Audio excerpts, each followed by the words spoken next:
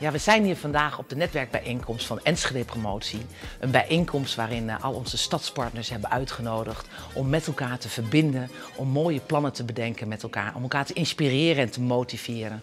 Want na coronatijd is het ook belangrijk dat we elkaar weer ontmoeten en uh, met elkaar bouwen aan het merk Enschede en zorgen dat er ook weer veel publiek naar de stad toe komt.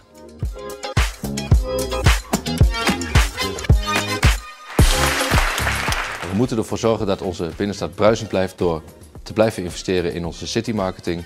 Zorgen dat de mensen hier naartoe komen en dat die altijd moois wat wij te bieden hebben gaan zien en gaan meemaken. En we moeten vooral ook blijven investeren in onze binnenstad. Ik denk dat het belangrijk is dat de ondernemers eh, de Duitse taal faciliteren. Zij het op de website, zij het op de menukaart. Dat je ze echt in het Duits eh, toespreekt. Dat is een stukje gastvriendschap, een stukje gastvrijheid. En ik denk dat die Duitsers dat ook zeer weten te waarderen.